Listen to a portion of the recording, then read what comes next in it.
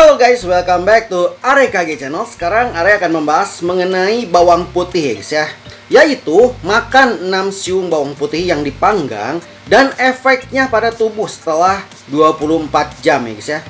Nah bumbu dapur yang satu ini ya guys ya Memang memiliki khasiat sebagai antiinflamasi Hingga pencegah kanker.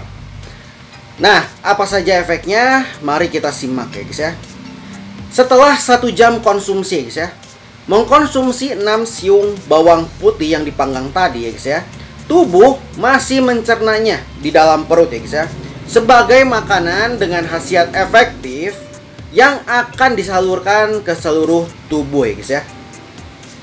Selanjutnya setelah 2-4 jam Bawang putih panggang yang dikonsumsi tadi akan membantu tubuh melawan radikal bebas ya guys ya dan sel kanker yang ada di dalam tubuh ya ya. Lalu setelah 4 sampai 6 jam. Nah, manfaat mengkonsumsi bawang putih panggang untuk metabolisme tubuh sudah mulai terlihat ya guys ya setelah 4 sampai 6 jam. Bawang putih panggang itu membantu mengaktifkan proses ya guys ya. Menghilangkan kelebihan cairan dan membakar lemak dalam tubuh guys ya.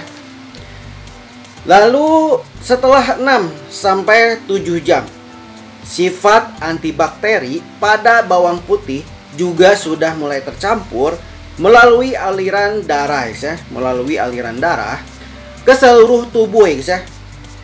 Setelah 6 sampai 7 jam tadi ya ya. Lalu sifat antibakteri dalam bawang putih panggang yang membantu melawan bakteri dalam tubuh ya ya. Setelah 6 sampai 7 jam ya ya. Nah, setelah 7 sampai 10 jam. 7 sampai 10 jam ya, Setelah hampir 10 jam.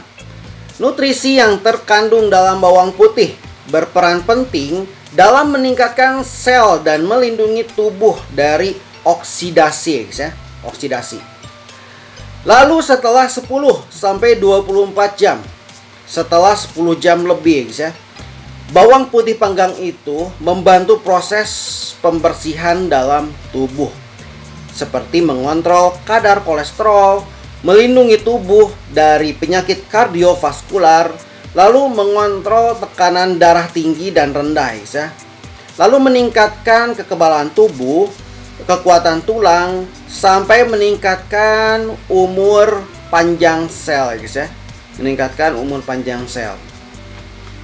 Nah guys, sekian saja info dari ARKG. Jangan lupa subscribe-nya dan dukung terus channel ini agar dapat bermanfaat untuk semuanya. Terima kasih. Terima kasih sudah menyaksikan. Sehat selalu dan see you. Bye bye.